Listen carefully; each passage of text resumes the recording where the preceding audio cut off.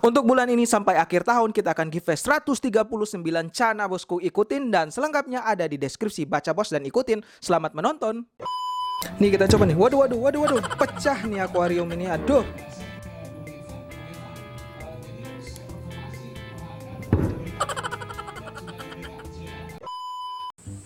Wih, arte lasu ini. Komplena.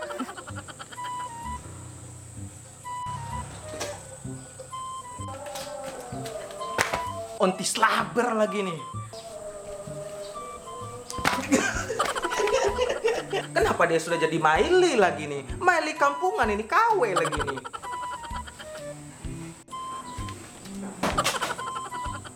Woi, tai lasu. Kenapa kau jual cana penakutan sama saya? Bikin aja dia jadi galak. Emang ada caranya? Ada dong, semua orang bisa terapinnya. Oi, Tai Lasu. Apalagi nih Cesla, Siapa Cesla? Kamulah artinya cewek slaber. Kamu jual pucera kok penakutan sih? Kamu, kamu, kalau soal ikan bego banget deh. Ikan hiu makan tomat. Goblok. Gampang itu. Mari kita belajar bareng. Ya, duduk di sini ya, duduk di sini ya. Oke, Oke, siap, bosku. Oke, Oke, bos.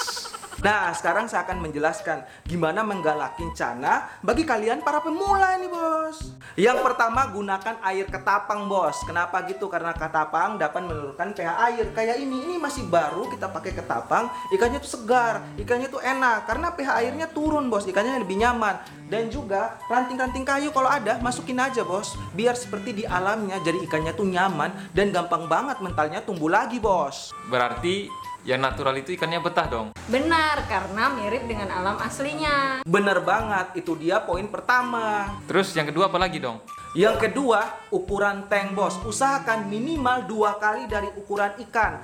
Lah, emangnya kenapa? Karena kalau akuariumnya sempit, ikannya tuh malas gerak, jadi mager. Benar juga sih. Kalau akuarium kekecilan, ikannya bisa bengkok. Bener banget bosku. Terus ada lagi caranya. Ketiga, kalau kasih makan, interaksi dulu dengan ikannya seperti gini. Nah, ambil udang keringnya, digangguin dulu sama ikannya. Dijalan-jalin gini dulu. Wow, marah dia. Minta dia. Kayak gini. Nah, kalau dia ngikut, kasih dia makanan apresiasi. Kayak gitu. Oh, begitu ya. Iya dong, kayak gini lagi. Ambil lagi udangnya. Nih, dikasih lihat. Wow, lapar dia. Lihat lagi nih. Kalau dia ngikut, sini sini sini. Bukan, itu kembung itu. Hmm. Nah, kalau dia ngikut, kasih dia apresiasi. Nah, kamu juga bisa coba. Sini dulu, sini. Sini, sini, sini. Nih.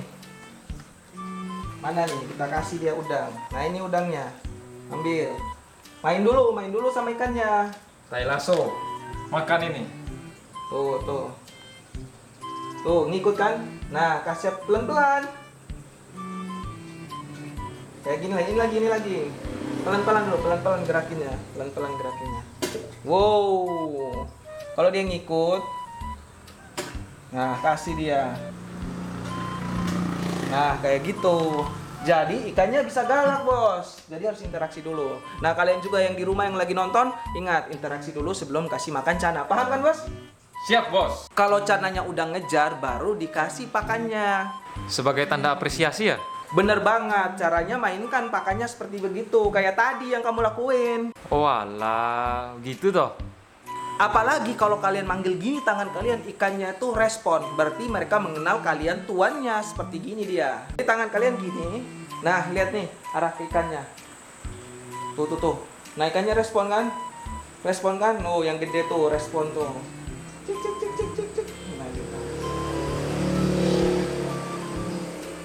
Wah, keren caranya. Ada lagi nggak caranya, bosku? Ada dong yang keempat puasain dua kali makan dalam seminggu Senin dan Kamis bosku puasain biar mereka diet dan bisa galak Ya, kasihan dong ikannya. Emang di alam liar ada yang kasih makan tiap hari? Syukur-syukur kalau ada makanannya. Biasanya kata kalau lewat yut, trah. Oh, iya juga ya. Menurut data, ikan gabus tuh mampu bertahan bulanan tanpa makan, bos. Bener banget tuh. Terus ada lagi caranya, bosku. Yang kelima pakai kaca atau pakai tangan bos. Kalau pakai tangan aku tuh gak berani bos. Pakai kaca ya ada lah bisa. Kayak video kemarin yang ini. Nih kita coba nih. Waduh waduh waduh waduh. Pecah nih akuarium ini. Aduh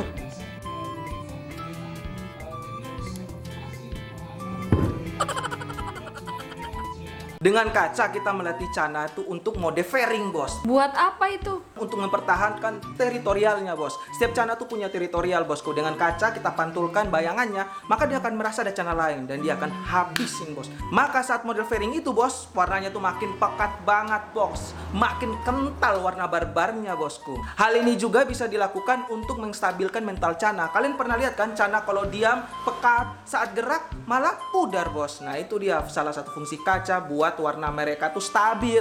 Oh iya, kita juga sering loh temuin Cana tuh kalau diam warnanya pekat, tapi kalau bergerak warnanya pudar, bos. Mantap juga ya. Terus cara yang lain apa lagi bos? Yang keenam, berikan makanan yang sehat, yang tinggi protein. Biar ikannya tidak sakit-sakitan, bos. Terus kalau sakit obatinnya gimana? Kasih aja antibiotik, ada metil blue, ada red all, pokoknya banyak di toko ikan. Kalian bilang aja buat ikan sakit apa. Kalau luka-luka ikannya, kasih aja cacing tanah. Obat alami, bos. Wah ternyata gitu ya.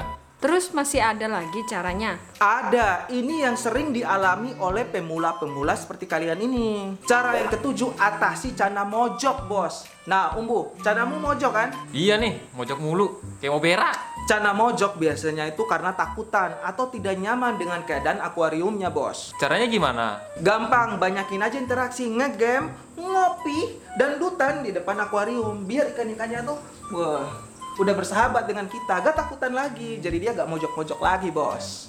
Benar tuh, biar Cananya tuh nggak takutan saat interaksi dengan kita. Terus kalau udah dilakuin, tapi kalau masih mojok terus gimana dong? Gampang caranya, kalian pakai mesin filter.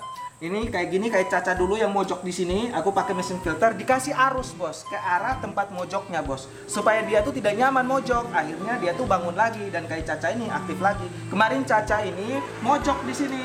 Aku kasihlah mesin filter. Aku kasihlah mesin filter, arusnya di tempat mojok dia. Akhirnya apa? Dia gak mojok lagi bos. Itu dia. Oh iya bener banget tuh. Saya udah nonton videonya. Yang kedelapan nyalain heater 24 jam dengan 30 derajat Celcius. Kayak si Asu ini bos, sekarang sudah gak mojok. Kok bisa? Emangnya gitu? Iya dong, kalau suhunya agak panas, ikannya tuh cepat lapar. Kalau lapar, galak cananya bos. Emang aman kayak gitu? Aman dong karena Maru suka dengan suhu-suhu yang hangat bos, seperti di habitat aslinya. Tapi punyaku kan pulcra. Ultra jangan lah. Cocoknya suhu lembab dan dingin. Sok tahu kamu. Tahu dong. Saya kan pelihara pulsra, tapi udah mati. Ma- emangnya mati kenapa? Mati karena loncat. Iya deh, percaya. Oh, gitu caranya. Baru tahu aku. Namanya juga kita pemula. Iya ya. Ya udah, saya cabut dulu. Bye bye. Udah paham aku. Sekarang aku mau pulang ah. Aku juga deh. Ayo cabut. Ya. Orangnya udah kabur, kayaknya dia capek deh ngajarin kita. Kayaknya sih. Oke, sekian aja bos. Jangan lupa like, comment, share, dan Subscribe. Bye bye.